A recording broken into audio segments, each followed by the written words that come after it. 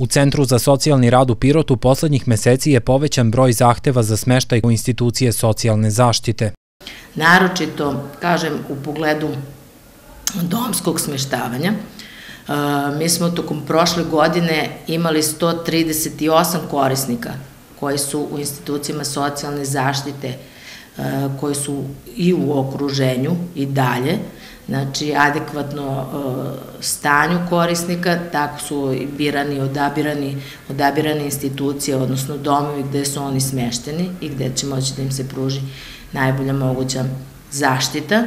što ukazuje opet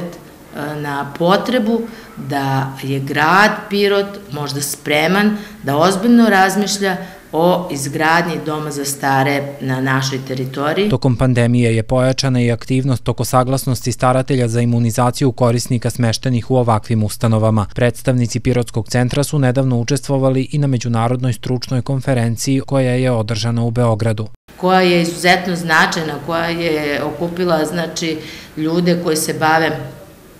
ovom problematikom koju se i mi bavimo, ali e, na jedan drugačiji način se razmišlja uopšte o ponudi socijalnih usluga i proširenju socijalnih usluga, takođe se razmišlja na e, o jednom e,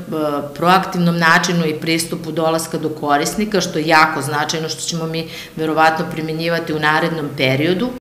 Sistem socijalne zaštite u Srbiji je u procesu digitalizacije. Zaposleni u Centru za socijalni rad Pirot stalno pohađaju i edukaciju u ovoj oblasti, dodaje Vasićeva.